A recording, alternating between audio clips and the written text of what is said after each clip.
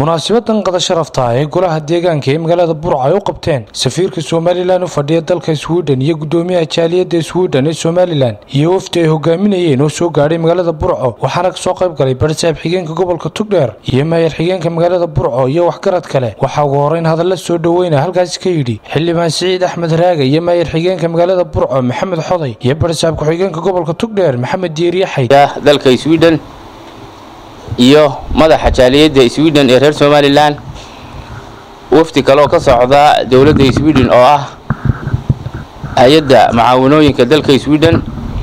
Waxaanu leenahay ku soo dhowaada magaalada burco gacmo furan iyo qalbi furan. Waxay wafdigani daba socdaan. Xiriir hore naga dhexeeyey haddaanu nahay degmada burco iyo maamulka gobolkaba jaaliyadda reer sweden iyo dowladda reer sweden.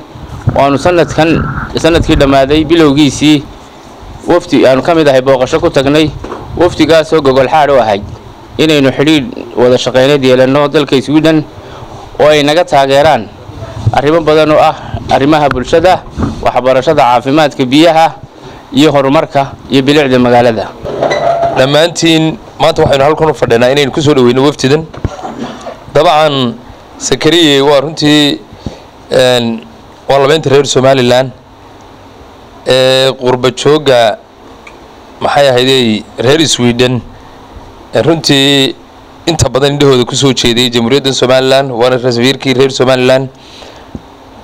Kolley socdaalkoodu gabyeley buu ka soo bilaabmay. Dabcan wuxuu hoos iigu sheegay iminka markaan gabyeley marayay inay ila noqon weyday inaan ka noqdo.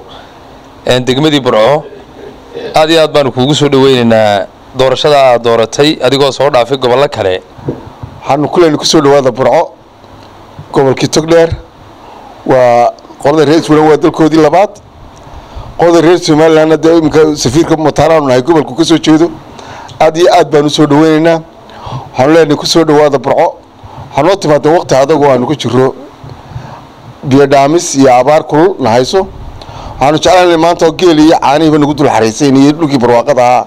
Aanu lahaan jiray wixii nalagu ogaan jiray maanta inay jirto aanu casarka geelaydii caraabino waanu jeclaan lahayn laakiin waxa maanta na haysta waa dhibta adag ee araadka iyo oonka. Safiirka somalilan ee wadanka sweden sakariya cismaan wacays iyo gudoomiyaha jaaliyadda sweden ee somalilan mustafa cabdi ayaa ka mahadnaqay soo dhoweyntan. Dhammaan marti sharafta meeshan madasha joogta aad baan iyo aad baan idinka mahadnaqayaa.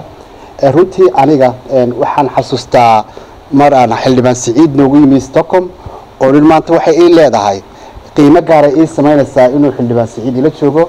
Runtii inaad ii imaado oon gobolka burco joogo qiimo aad iyo aada u sarreeya ayay ii tahay. Oon aada ugu faraxsanahay. Haddaanu soo raagnaynaa waanu ka cudur daarano raaliha naga ahaado laakiin waan ku socod badan doonaa gobolka burco runtii casuumaaddan waa casuumaad runtii nagu qaaliya gaar ahaan anigoo nagu qaaliya.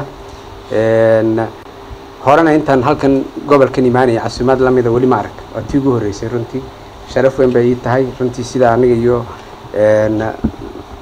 safiirka iyo inta kale nala socotaba aad runtii noogu soo dhaweyseen. Gabagabadii safiirka somalilan ee wadanka sweden ayaa guddida abaaraha ee gobolka tugdheer ku wareejiyey. Lacag uu safiirku kaga qayb qaadanayo abaaraha. Waxaa kaloo guddida abaaraha oo uu guddoomiye u yahay barasaab xigeenka gobolka tugdheer. Lacag ku wareejisay ayaan xaaji aktoobar oo ka mid ah hablaha qolqol joogga ee somalilan. Mahad cali goodir tv-ga caalamiga star burco